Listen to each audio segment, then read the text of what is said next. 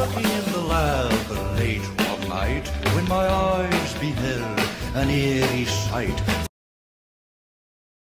Did The monster